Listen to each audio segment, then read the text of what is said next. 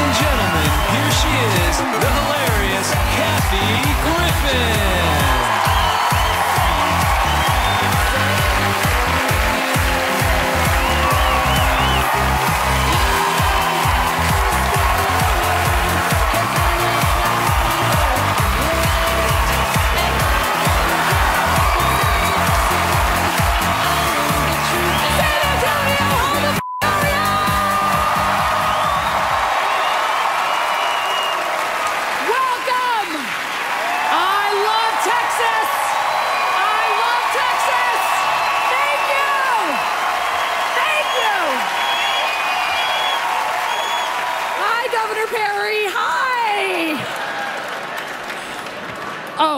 You do know I will be making fun of Governor Rick Perry. Don't think.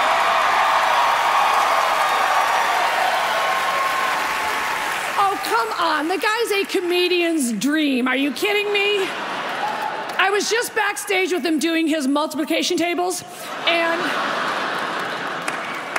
the Mensa people are going to hold off on the application. Look, does Rick Perry know that women's clinics are like for like pap smears too? They're not abortion clinics.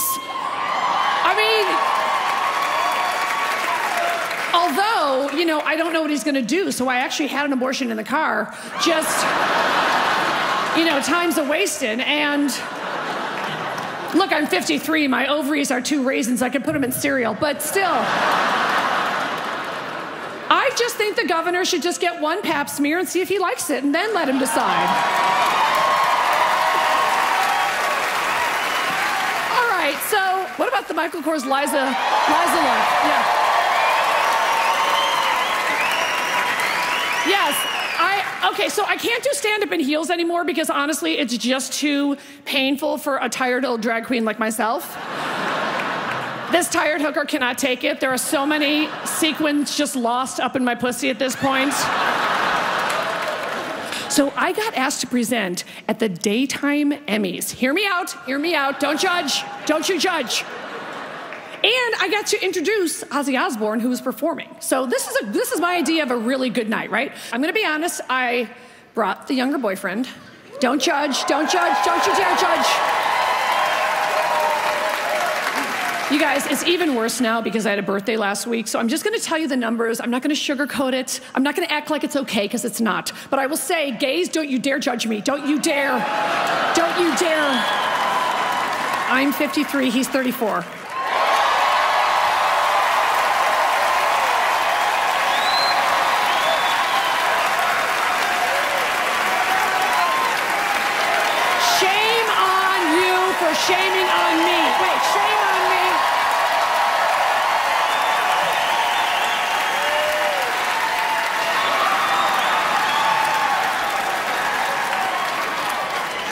53 Shades of Gray. 53 Shades of Gray. Yeah. Right here.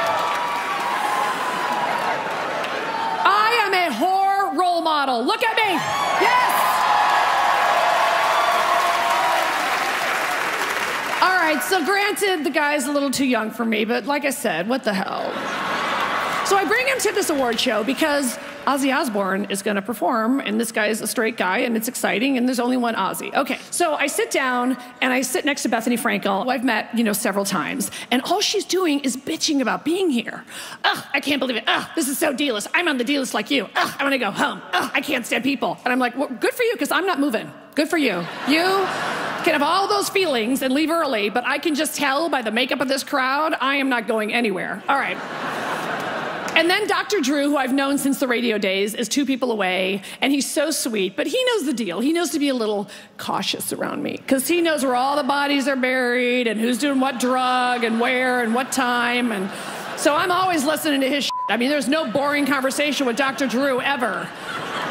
You know, he's probably got one of those syringes from Pulp Fiction in his, in his bag where he just puts it in somebody like, you know, come back to life. You know, I don't know what, I'm not leaving Dr. Drew's side ever. And then there's Kris Jenner, who's of course tried to make the deal with me. You know, she said, and she's very friendly, by the way, and she's actually said, Can you please stop calling my daughters dirty whores? and she was like, Now that Kim is a mom, and I was like, Oh, mm.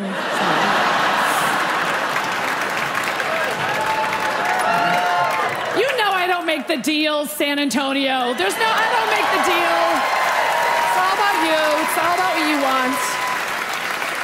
But she is actually nice, and she's nicer to me than she should be, that's for sure. And she had a picture of the baby on the phone, and she kept hiding it from me, saying, I'm not gonna show you this picture of baby North West. And I was like, what am I gonna do? Emblazon it in my brain and then send it out via Instagram magically? Like, okay, I mean, babies all look alike to me. I don't even like kids, so. It's probably just a blob. All right, so.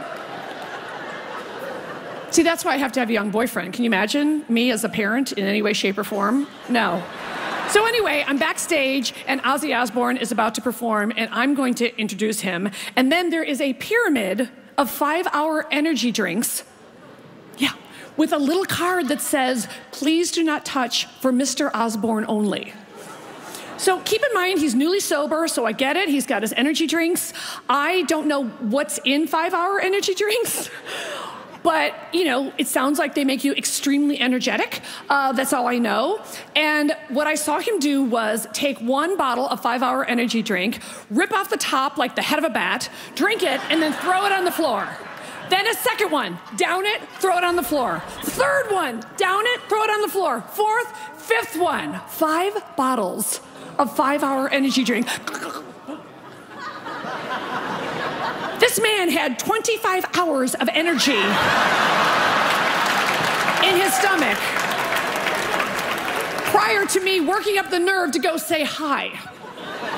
So I'm watching him drink five five hour energy bottles, and then I turn to the boyfriend. He's like, "Don't don't say hi. Don't just leave. Just let him."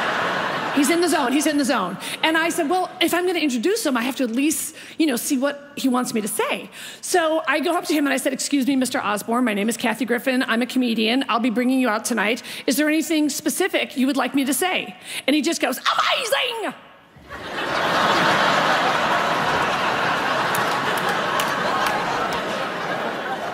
Okay, so I was like, oh, and that you won Grammys? Like, I'm trying to just make, you know, be professional. So then it's time for me to bring him on stage, and he's behind me with the band, and they're all talking in their Britishy talk, and all I can think of is how his belly is filled with 25 hours of energy. And everything to him is amazing! And Sharon's looking from the audience like, you better be sober. I swear to God, I've had it. I will go on the talk and talk about it. You know I will. And so I bring him out, and let me just say, he sings Crazy Train, Mom, I'm Coming Home. He freaking brought the house down, right? So it was incredible. I go back to my table, and I'm just going, oh my God, wasn't that a great performance? And everyone's on their feet, and Bethenny Frankel still wants to leave. And I'm like, don't let me stop you. All right, so I just thought that was amazing. Even Kris Jenner is like scrolling the phone, but at least she was there. And and then I see Dr. Drew's wife go to the ladies' room, the public ladies' room at the hotel, and she comes back and she whispers something in Dr. Drew's ear where I can tell some, something's going down in the ladies' room. Okay? Now, you know my ear is like a big chia pet, basically. Yeah. I water it every day and it grows because I'm not missing one thing, not in a night like this, no. So I turned to her and I'm, i was just like, um, hey, what's going on? I, I saw you come back from the ladies' room almost as if, you know, something had happened. And she was like, oh, no, I think um, one of the soap stars uh, passed out in the stall. I'm on that. I am on that.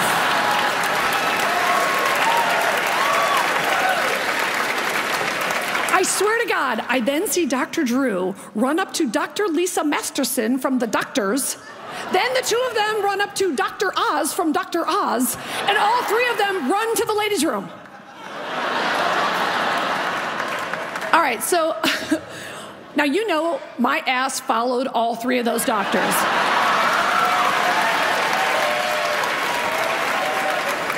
by the time I got there, they had the nerve to not let me in because of the police caution tape.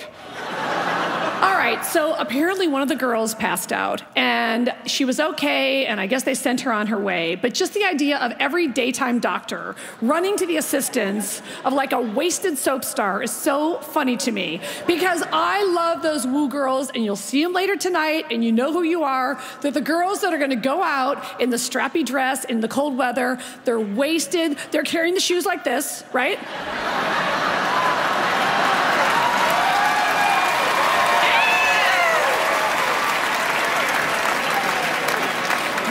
They start having a girl fight with each other.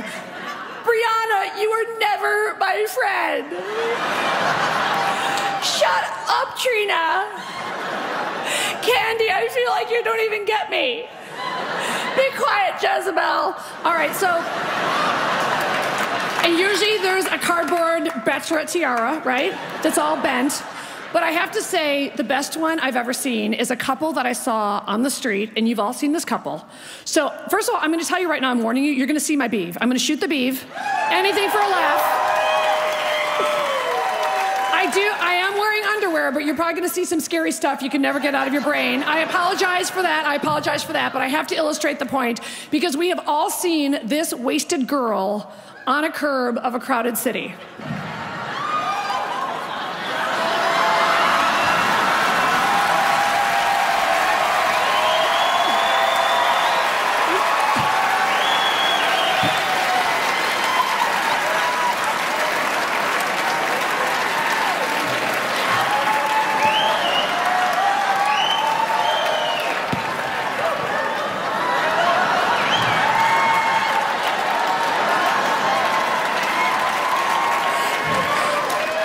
Brian, Brian, you don't get me. Brian. Okay, so I then, I swear to God, I'm not making this up. You're welcome.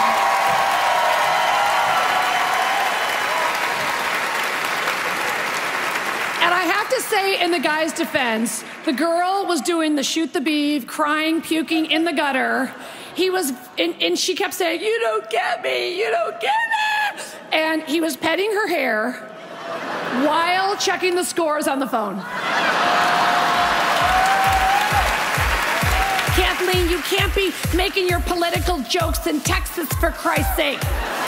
They're gonna shoot you dead. They what they do is they shoot Catholics on Friday. They shoot Catholics on Friday. All right. Shall we talk about Miley? All right. First of all, you've all seen the twerk heard around the world, but let's talk about it through the prism, through the eyes of your very own 93 year old alcoholic, Maggie Griffin, shall we? You love love her. First of all, she sends her regards. She sends her warnings. Kathleen, you can't be making your political jokes in Texas for Christ's sake. They're gonna shoot you dead. They what they do is they shoot Catholics on Friday. They shoot Catholics on Friday. Mom, turn off Fox News. No, I was watching Fox News and they says it's legal now in Texas to shoot comedians on Thursdays. Mom, I might have had a little too much to drink, but Bill O'Reilly says don't go. Okay, you know what? Walk away from the Fox News, Maggie. But you can't. The old people, they love Fox News. It's like porn. It's like porn for them. They believe it. They think it's real. What are you going to do? All right, so so anyway, she uh, she did warn me to not get political, so I've already broken that rule. And then, oh, I want you to know her advice. You know what'd be nice, Kathleen? When you're down there in Texas, why don't you walk out and just tell real nice stories about nice people and not curse? well, f- that. Anyway, I tried. I tried as long as I could. I thought. I'm going to tell you the real reason Maggie isn't here, and she's going to be so mad at me because she doesn't get why this is funny. But if you have any relatives of a certain age, you know what it's about. So I want you to know I invited her. I said, Mom, why don't you come to San Antonio? We'll have a great time. The audience will love you. All that. Trust me, I. So I'm going to tell you why Maggie's not here because I know you love and accept her. She is not here because when I said, Mother, you know, whatever you want, we'll fly you first class, we'll put you up in a beautiful hotel. I can't go on a plane. What if I get the sh- Kathleen Mary? So then, no, no, I wish I was making this up. I was watching Fox News and they says that if you're on a plane, that if you say you got the sh- and the pilot hears, they think you're in Al Qaeda. What? No, I was watching, I don't know if it was Hannity or what, but they says that now plane travel's different. So if you get the sh- you can't tell us stew. I go, okay. We don't say stew anymore, mom. We say flight attendant. Then they'll think I'm in Al Qaeda. Nobody thinks you're in Al Qaeda. But what if I have to knock on the pilot's door to say, we have to make a stop. I have the sh-. I go, "We're- well, then they would think you're in Al Qaeda, and you're also crazy. What are you talking about? So anyway, I I forced my mother to watch the infamous Miley Cyrus twerk moment, and here's why. Granted, granted, I used a little trickery. And what I did could possibly be classified as elder abuse. But you know what? I couldn't say, come upstairs and watch the Video Music Awards. She would never do that. So I had to say, Mom, come upstairs, Murder She Wrote is on. And old people love Murder She Wrote. Oh my God. Kathleen, it's with Angela Lansbury. He's such a classy lady. And she starts the episode writing a story about a crime. And then she gets immersed in the crime herself. And sometimes she solves it and then she writes the whole story. All right. So, um, so I had already watched the Video Music Awards and I knew the good parts, right? And I knew that my mom like may or may not know some of the stars. So if you recall, pre-Miley, it opens with my beloved Lady Gaga. Now I love Lady Gaga. I think she's legit. She went to Columbia. She plays instruments. I'm a fan. I'm a fan. So the, the whole award show started with a close up of Lady Gaga's face, right? And then remember, they pulled away and she was wearing a nun's habit. So that set your Maggie off. Jesus Christ, Kathleen Mary. Think it's real goddamn cute that your Lady Gaha is in a nun habit. Did you catch it? Gaha, Lady Gaha. Now, I, I know I should correct her. I know that morally I should have corrected her so that when she goes back to her retirement village, where by the way they all sit around the cafeteria and it's like Heathers. I don't know if you know this. You know this? Yes. Did you know that? Yes. In these retirement villages, it's vicious. It is high school all over again. You pick one table and you stick with it. And I swear to God, my mom is living Heathers, and I think my mom is Shannen Doherty.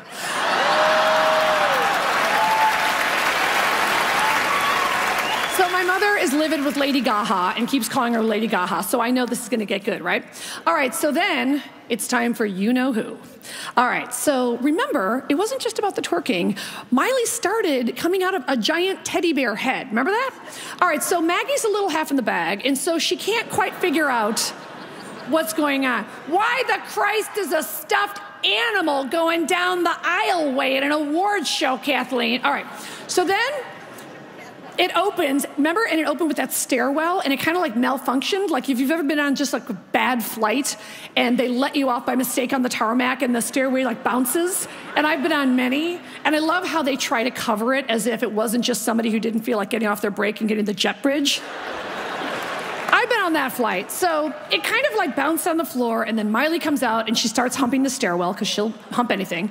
And and why shouldn't she? Did you see that wrecking ball? That wrecking ball needs to go see one of the few women's clinics you still have open in Texas.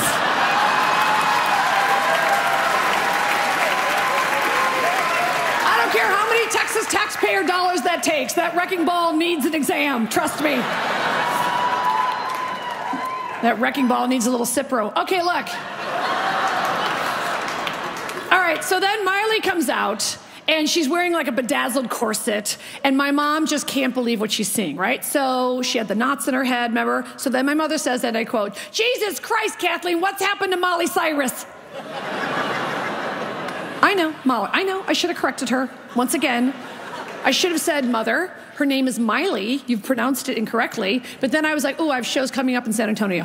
Um,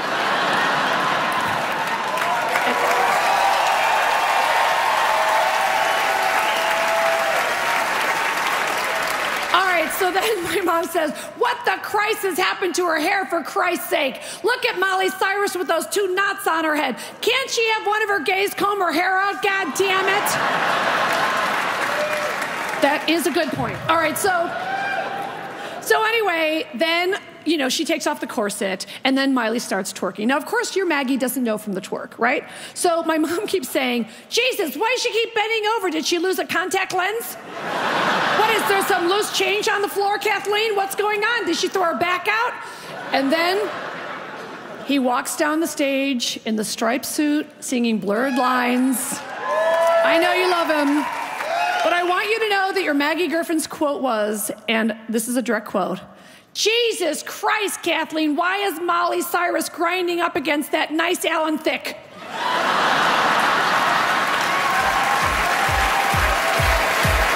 I have I've never even been on a hetero cruise. I think I've done six gay cruises. I've never gotten on the boat without seeing the giant ice cock sculpture. Can I please tell you about the gay cruise? Because it is so, you have to hear it to believe it. Straights, don't, don't peace out, straights, because let me tell you something. We all have something to learn, and ladies in particular, listen up, because let me tell you something about the gays. They are organized. When it comes to what, yes, when it comes to what they want sexually, they are color coded, they are organized, they are making lists, they are specific, they are tops, bottoms, or versatiles. You better let me know.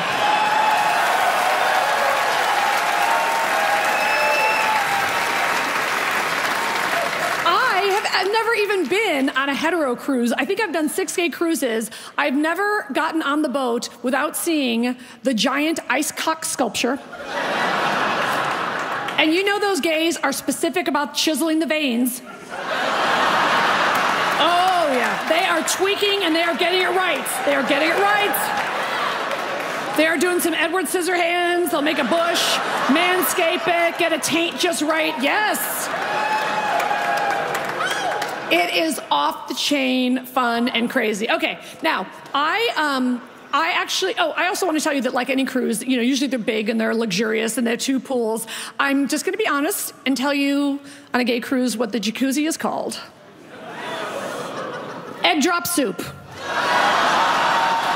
Take it in, picture it, picture it, take it in, deal with it, deal with it.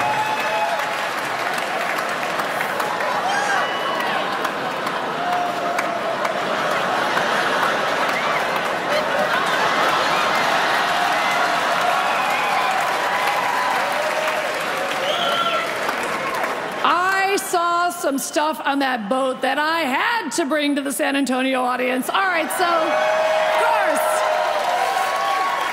First of all, once again, ladies, we really should learn. Okay, they have parties and they're named with themes that might almost sound like kind of like sexually insensitive in a way, but the gays, once they're at sea, it. It is all bets are off. It is boys at sea. Okay, so I look on the activities list, and the first thing I see is a dog tag dance. Normally, I love that you're cheering that. Normally, you would think like, you can't treat these people like dogs. Yes, you can. Yes, you can. Woof, woof. Right, so this this is this is a themed dance where the boys all show up with military dog tags with dots on them. It is color coded. So some gay had to go to Office Depot or Home Depot and just get sheets and sheets of dots. And if you're wearing a red dot, it means no way. A yellow dot means give me a couple of drinks. A green dot means it's go time.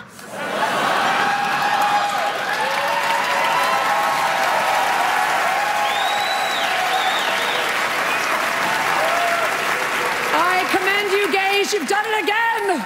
You've out organized us, out thought us again. And by the way, I'm calling bullshit on the red dots. That's some bullshit. You know, some reds, they rip it off. And where's the green one? All right.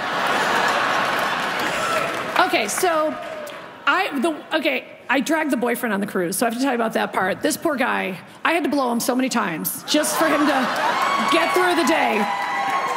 Why not? If I have to gag, so be it. All right, now, I'm a lady. So, so anyway,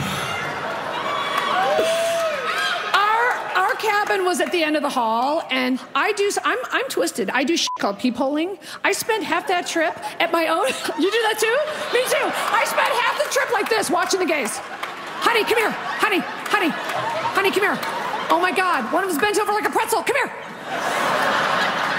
I had more fun peepholing the boys on the gay cruise. Okay, so first of all, it, what they do is they decorate all the doorways, right? So we were next to a couple of bears. If you don't know what bears are, in the gay community, the bears are the gentlemen with a little more meat on their bones, kind of hairy. They can enjoy a meal. Oh yeah, if I was if I was a gay guy, I would totally be a bear. They're the only type of gay that can eat. They're the only ones allowed to eat. Yeah. I would be like Smokey the Bear. I would live in a tree and eat honey. Yeah. All right, so next to us were two very sweet bears, and they were celebrating being together for like 25 years. And let me tell you, wonderful, and of course we respect them, but let me tell you, they were in such the wrong hallway.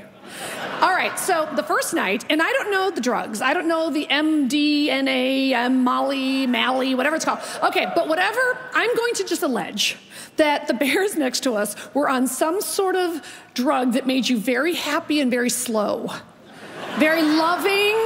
And rainbows and lollipops, but very slow. So I'm gonna describe what I saw outside my peephole, but what you should know is that it went on for six hours. So I looked out once and I just see this bear decorating his door just like this.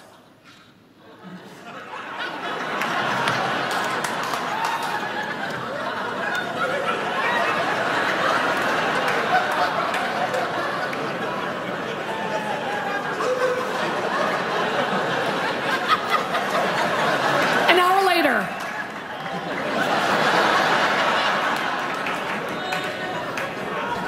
Three hours later.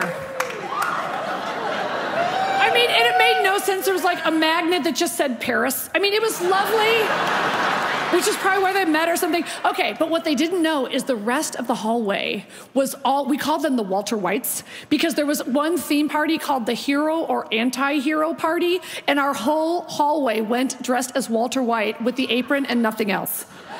Oh, yes, these were party boys. And they had fake meth and they kept giving it to me. And I'm like, I'm like that to be walking around customs going, look, the gays made some hilarious fake meth. It's real, Brokedown Palace. So, so, all right, so the bears were next to us, and their doors were all about love and light and rainbows and love. And then the Walter Whites were all about the like scheduling sex. And I am not kidding. These gays had dry erase boards and sharpies scheduling blowjobs. I'm not even kidding. And on the day of my shows, I did two shows. I was actually quite flattered because their dry erase board would say things like, you know, 3:30 rim job, 6:30 show with Kathy, yay, 8:30 Jeff sloppy bottom. Very specific.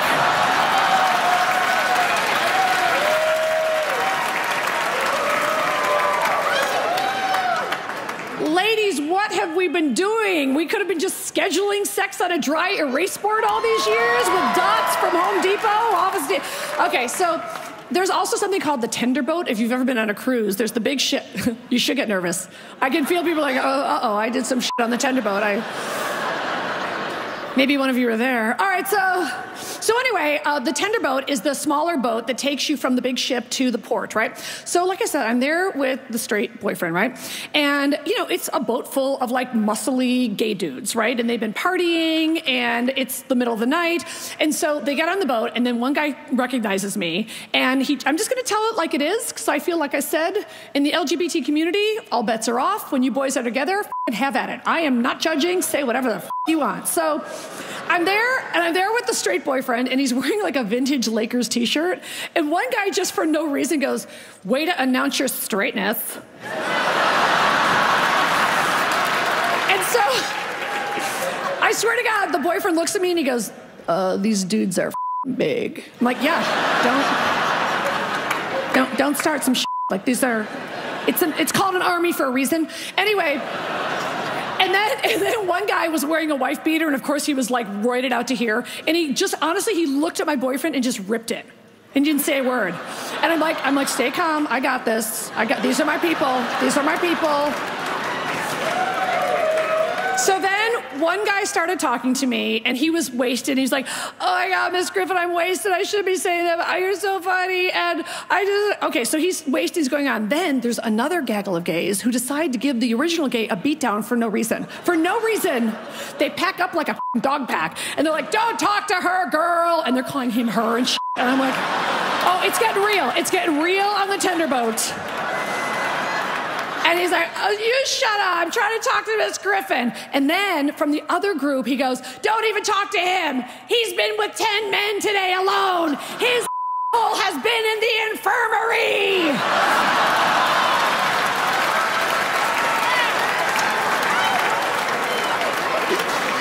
now, I'm not a physician.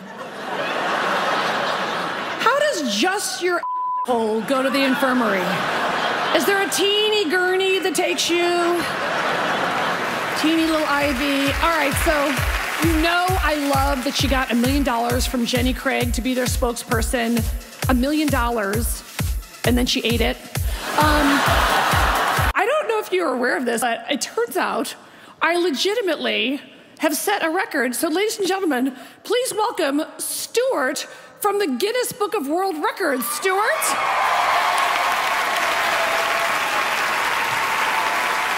How about It gives uh, me great pleasure and it's a tremendous honor to be here tonight with you uh, as I present you with the certificate, Kathy Griffin, recognizing you as the Guinness World Record holder for the most televised stand up specials by a comedian with an incredible 19 shows. You are officially amazing. Congratulations. Well done. Well done. Congratulations. And by the way, with this one tonight, when it airs, it'll be 20, mother. I know you love the behind the scenes stories, so I'm gonna just tell you about someone I worked with recently. And before I even say her name, I'm gonna give her credit for having a really good sense of humor because I've been kind of tough on her over the years. And she invited me to be on her new show, and I want to say that I'm very thankful for that. She also asked me not to put her in my act anymore, and I am not able to oblige at this time. You want to hear about Kirstie Alley? Okay. You guys, this was so awesome. First of all, she has a new show coming out. It's called Kirstie. It's going to be great. She's great. She's legit crazy. So that's what I love about her. I loved her on Dancing with the Stars. I love when she was on Oprah and famously didn't lose any weight and just wore pantyhose and a bra and said she did, allegedly. And you know, you know, I love that she got a million dollars from Jenny Craig to be their spokesperson. A million dollars, and then she ate it. Um, that's my kind of gal. Remember when she was the spokesperson for Pier One and they had to keep putting those wicker baskets higher and higher?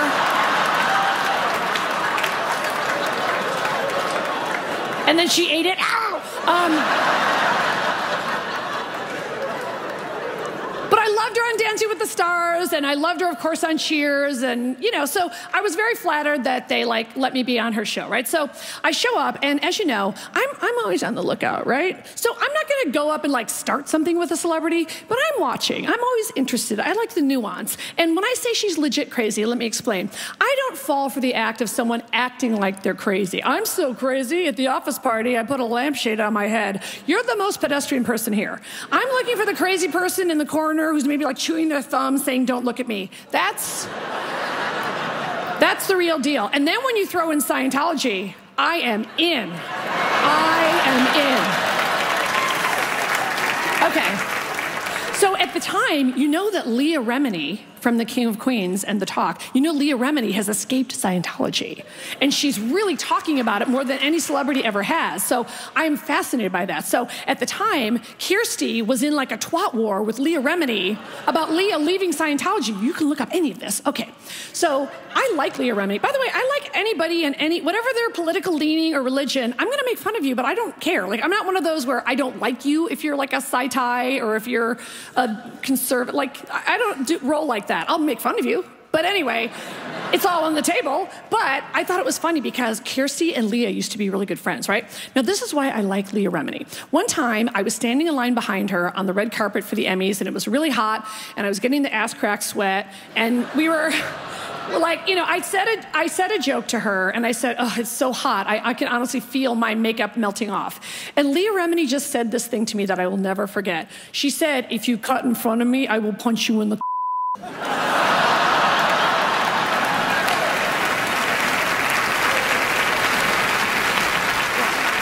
that's my kind of gal that is my kind of gal so watching her leave scientology has been fantastic because i'm thinking she's going to punch them all in the on the way out especially John Travolta. Hey!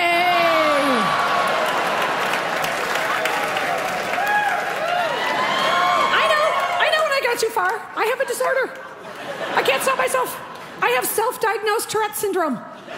I've never been told by an actual physician, although I do know Dr. Lisa Masterson, Dr. Oz, and Dr. Drew, but I have diagnosed myself with Tourette's. Anyway, so, so I get to work with Kirstie Alley for five days in a row.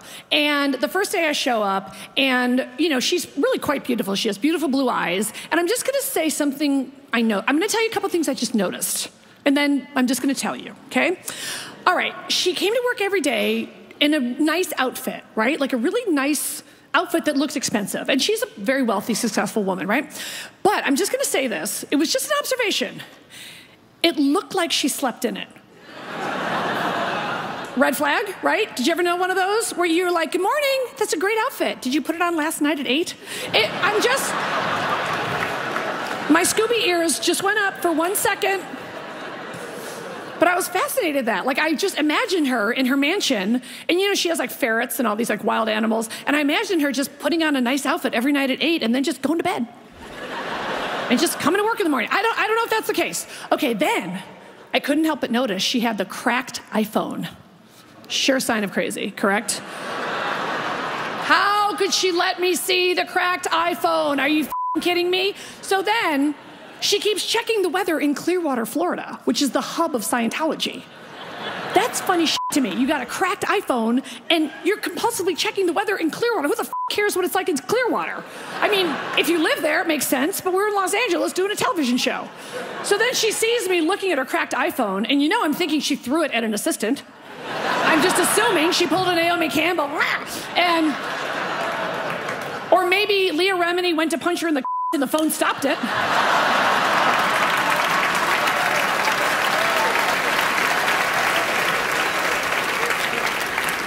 I don't know, but she actually was quite delightful, and she kept calling me Kathy Griffin. She kept saying, You're not gonna put me in your act, are you Kathy Griffin? And I just said, Yes, yes.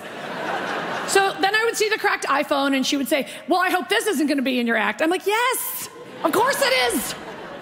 And she was nice though, and so the first day we worked together, we took a photo together, and I was holding a script of the show, Kirstie, and she twatted it out, and I twatted it out. And she wrote something very nice, and I wrote something nice, and I was like, you know, good for her. Then five hours later, I look on her Twitter at Kirstie Alley. I strongly encourage you to follow. And five hours later, it says, Today has been one of the most horrible days in my life. I hope goodness prevails. Something like that. Okay. Now, you know, I'm at home by myself getting all paranoid. Like, what the f are those side ties gonna do to me? What's happening? when is the spaceship coming down? What's happening? Who's gonna punch me in the Who's gonna punch me in the Okay, so the next day, I go into the Kirstie show again, and I'm kind of, you know, stepping a little softly because I've read the tweet. First, there's the nice one, then there's the it's been the most horrible day of my life, and I'm like, "Morning, Kirstie," and she's like, "Hello, Kathy Griffin," and I go, "How's um how's everything going? We good?" Like, "Yes, great." And I go, "Okay, so I'm just wondering, are you are you feeling well?" Yes. Why, Kathy Griffin? Uh, because five hours after a picture, you twatted that it was the most horrible day of your life and you hoped goodness prevails. Oh, no, I didn't. You're saying that for your act, Kathy Griffin. I go, here it is. And then she just goes, oh, I forgot.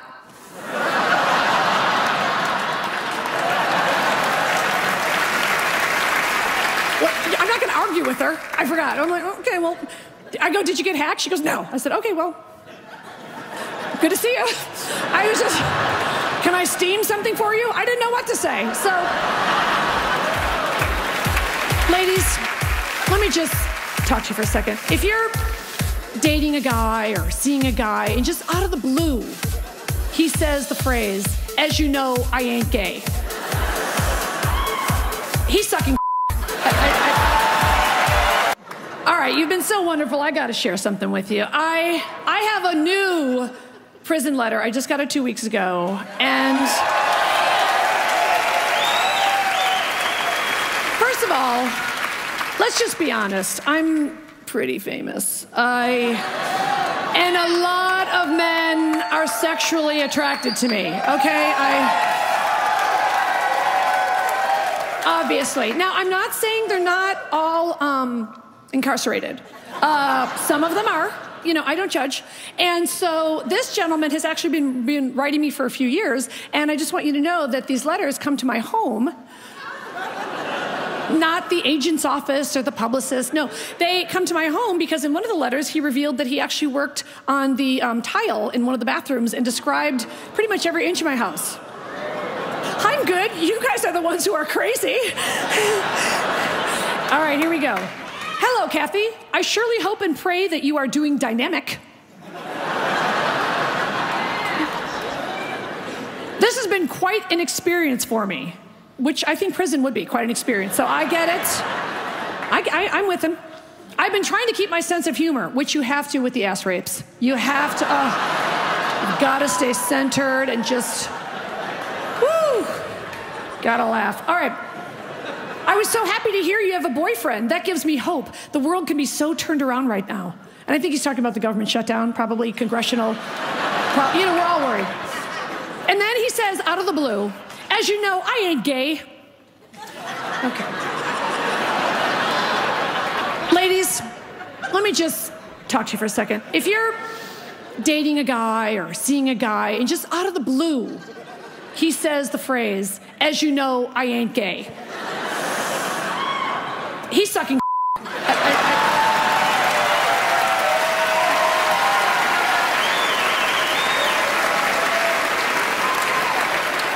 Possibly, possibly.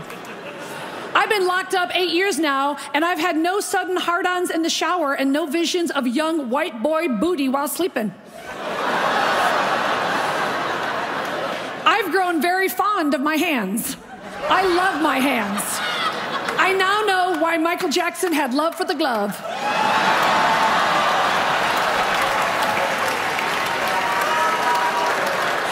He says, So, you got yourself a 34 year old, huh? That's okay. He's a poodle, baby. He ain't laying no real pipe, I bet. You talk like you know how to get down, but I can't imagine you with a real tribesman like me. Six foot one, 230 pounds of Ganganese coxman. Sir Metus erectus from the tribe of Ganga, located in the southern tip of Ghana, the blackest region in Africa.